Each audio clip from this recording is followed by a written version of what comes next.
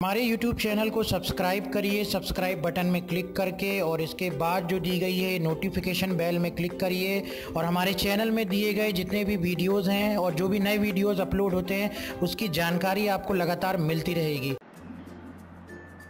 इसके बाद अगला ऑप्शन दिया गया है पेज लेआउट ग्रुप में और वो है ब्रेक ऑप्शन देखिए, इसमें अलग अलग ऑप्शन दिए गए हैं। Insert page break remove page break और रीसेट ऑल पेज ब्रेक तो इंसर्ट पेज ब्रेक का क्या अर्थ होता है? अगर हम इस प्रकार से अभी प्रिंट प्रीव्यू देखेंगे अपने वर्कशीट का तो हमको प्रिंट प्रीव्यू कुछ इस प्रकार से दिखाई देगा। लेकिन हम मान लीजिए, हम चाहते हैं कि जो इतना भाग है वो इस पेज में आ जाए और बाकी का भाग जितना है वो अगले पेज में चला जाए। तो हम क्या करेंगे? जहाँ से भी आपको पेज ब्रेक करना है, वहाँ पे आप इस प्रकार से कर्जर रखिए और यहाँ से जाकर के इनसाइड पेज ब्रेक में क्लिक कर दीजिए। तो देखिए, जहाँ पे आप कर्जर रखेंगे, उसकी लाइन के एक लाइन पहले से, एक सेल पहले से पेज ब्रेक हो जाएगा। अगर यहाँ से करना था तो यहाँ रखना था। ठीक है? अब पेज ब्रेक करने से क्या हो गया कि ये एक अलग पेज में बढ़ गया, ये जो स्क्वायर सा भाग दिखाई दे रहा है, ये अलग पेज में दिख गया, ये अलग पेज में आ गया, ये अलग पेज में आ गया, है? पेज ब्रेक कहते हैं इसको। अगर आपको अपने डॉक्यूमेंट को पेज ब्रेक के रूप में देखना भी है तो व्यू में चले जाइए और ये देखिए पेज ब्रेक प्रीव्यू है। जैसे पेज ब्रेक प्रीव्यू में आप क्लिक करेंगे तो आप देखेंगे कि ये देखिए, जहाँ से भी आपने ब्रेक किया था, वो एक अलग पेज में बट गया, फिर उसके बाद अलग पेज में बट गया, फिर अलग पेज में बट गया मतलब मैटर ही। वो अलग पेज में चला जाता है तो उसको बोलते हैं पेज ब्रेक प्रीव्यू इसी प्रकार से पेज लेट लेआउट में हम आएँगे और मान लीजिए अब हम इस पेज ब्रेक को हटाना चाहते हैं तो हटाने के लिए हम यहाँ पर आएँगे और रिमूव पेज ब्रेक में क्लिक करेंगे तो पेज ब्रेक रिमूव हो जाएगा। अब मान लीजिए हम चाहते हैं इसके पहले से पेज ब्रेक लगाना तो कर्सर यहाँ पे रखेंगे ब्रेक में जाएँगे इंसर्ट पेज ब्रेक में करेंगे। देखिए अब इतना मैटर जो है आपका एक पेज में आ जाएगा। जितने बार भी लगाना हो, दूसरी बार भी लगाना हो फिर यहाँ कर्सर रखिए, आप ब्रेक में जाइए, फिर इंसर्ट पेज ब्रेक में करिए, ये देखिए यहाँ से पेज ब्रेक हो गया, यहाँ से पेज ब्रेक हो गया।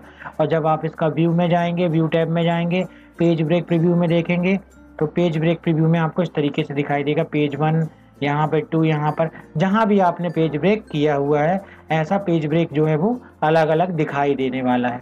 फिर नॉर्मल में चले जाते हैं हम, फिर उसके बाद हम पेज लेआउट में आते हैं ब्रेक में आते हैं रिमूव करने से रिमूव हो जाएगा रीसेट ऑल पेज ब्रेक जैसे हम रीसेट करेंगे तो जैसा पहले था पेज ब्रेक वैसा हो जाएगा। जैसा पहले था, वैसा हो जाएगा। और रिमूव यदि करना चाहेंगे तो सारे पेज ब्रेक हमारे रिमूव हो जाते हैं। ठीक है? रीसेट क्या करता है? रीसेट कर देता है। जैसे पहले था आपका पेज वैसा पेज ब्रेक हो जाएगा। ये था पेज ब्रेक ऑप्शन अगला ऑप्शन दिया गया है पेज सेटअप के अंतर्गत प्रिंट टाइटल्स ऑप्शन तो प्रिंट प्रिंट टाइटल ऑप्शन को समझने के लिए जैसे ही हम इस ऑप्शन में क्लिक करेंगे तो ये पेज सेटअप का डायलॉग बॉक्स खुल जाएगा। इसका यूज़ हम समझते हैं कि इस प्रिंट टाइटल्स का उपयोग क्या होता है। उसे समझने के लिए हम एक दूसरी वर्कशीट को इस्तेमाल करते हैं और वो हमारी दूसरी वर्कशीट है। इस प्रकार से मान लीजिए ये हमने एक वर्कशीट ओपन की हुई है। इस वर्कशीट में हम देखेंगे कुछ डेटा हमारा इस प्रकार से दिया गया है। और इस डेटा को अगर हम हेडिंग दी गई है, जो इसे हम थोड़ा सा अलग से दिखाने के लिए थोड़ा सा उसको बोल्ड कर लेते हैं, उसमें किसी प्रकार का कलर दे देते हैं इस तरीके से, और उसकी साइज़ को भी इंक्रीज कर लेते हैं, ठीक है? एक ये कीवर्ड प्लानर गूगल गूगल से निकाला गया एक, आपका डेटा है तो इस तरीके से दिखाई दे रहा है। इसमें भी फ़िल्टर लगा हुआ है। फ़िल्टर हम हटा देते हैं, इसे सिलेक्ट करते हैं फ़िल्टर बटन में क्लिक करते हैं फ़िल्टर हट जाता है।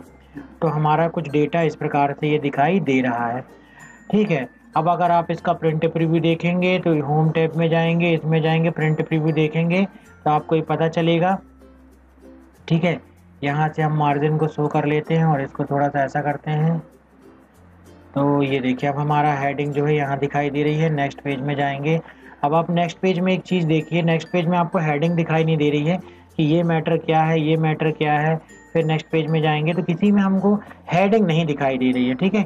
इससे हम समझ नहीं पा रहे हैं कि ये क्या है, ये क्या है, जैसे कि फ़र्स्ट पेज में हमको स्पष्ट रूप से हेडिंग दिखाई दे रही थी। तो यदि हम इस तरीके से जो है, देखना चाहते हैं कि जो भी मैटर हमने यहाँ पर बनाया हुआ है, वो हर पेज में हेडिंग में दिखाई दे।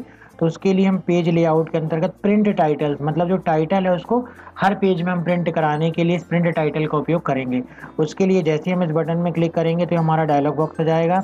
डायलॉग बॉक्स में rows to repeat at top option rows to repeat at top जैसे हम इस बटन में क्लिक करेंगे और हम चाहते हैं कि क्या रिपीट हो हर पेज में, ये वाला जो हेडिंग है वो रिपीट हो हर पेज में। तो हमने rows to repeat at top को सिलेक्ट कर लिया। उसके बाद हम यहाँ पर ओके करेंगे। ओके करने के बाद जब हम प्रिंट प्रीव्यू देखेंगे प्रिंट प्रीव्यू जब आप देखेंगे तो देखिए, ये पहले पेज में हेडिंग आ रही है। जब नेक्स्ट पेज में जाएँगे तो ये अब नेक्स्ट पेज में भी हेडिंग आ रही है। फिर नेक्स्ट पेज में क्लिक करेंगे तो नेक्स्ट पेज में भी हेडिंग आ रही है। इस तरीके से हर पेज में अगर आपको हेडिंग को रिपीट कराना बिना टाइप किए हुए, नहीं तो आप क्या करते, इसको सिलेक्ट करते कॉपी करते, फिर ढूंढते यहाँ पे कि कहाँ पे पेज खत्म हो रहा है फिर यहाँ पेस्ट करते। ऐसे अगर हज़ार पेज है तो हज़ार बार आपको इस टाइटल को पेस्ट करना पड़ता है लेकिन उससे बचने के लिए ऑटोमेटिक हर पेज में हेडिंग देते जाए। हम किसका उपयोग करेंगे? प्रिंट टाइटल्स का उपयोग करेंगे और इसमें जाएँगे, यहाँ पर क्लिक करेंगे, उस हेडिंग को सेलेक्ट कर लेंगे, जिस हेडिंग को हम हर पेज में रिपीट करना चाहेंगे। और उसके बाद जैसे हम प्रिंट प्रीव्यू देखेंगे तो हमारा हर पेज में जो है डॉक्यूमेंट ये हर पेज में हमारा मैटर जो है वो रिपीट होगा। ये कहलाता है हमारा कौन सा ऑप्शन प्रिंट टाइटल्स के अंतर्गत rows to repeat at top option इसे अभी हम हटाते हैं। हटाने के लिए सिलेक्ट करके डिलीट कर दीजिए। फिर ओके बटन में क्लिक करिए। तभी जा कर के ये हटता है। प्रिंट टाइटल्स हमने हटा दिया। अब प्रिंट टाइटल्स के अंतर्गत हम दूसरा ऑप्शन इसी में देखेंगे और वो है column to repeat at left option column to repeat at left option इसका क्या यूज़ होता है? जैसे रो को रिपीट किया गया है, वैसे ही कॉलम को रिपीट किया जाएगा। लेकिन कॉलम को रिपीट करने के लिए वैसा हमारे पास डॉक्यूमेंट होना चाहिए। तो चलिए, इस डॉक्यूमेंट को यदि हम ऐसा बनाते हैं कि हम कॉलम को रिपीट करने वाला बनाए तो उसके लिए हम एक नया नया तैयार करते हैं। ठीक है? एक नया डॉक्यूमेंट हम तैयार कर लेते हैं। उसके लिए हम पूरे मैटर को इस प्रकार और इतने भाग बस को सिलेक्ट करते हैं? ये लीजिए।